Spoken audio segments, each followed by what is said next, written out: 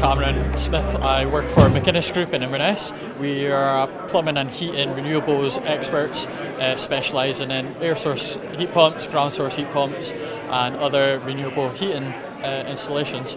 And we cover from Inverness to Wick, Isle of Skye, Aberdeen um, and throughout Scotland. It's been excellent. It's been uh, very busy. Uh, we weren't expecting it to be as busy this weekend, but it's it's generated a lot of uh, football for us and hopefully get some decent leads from it.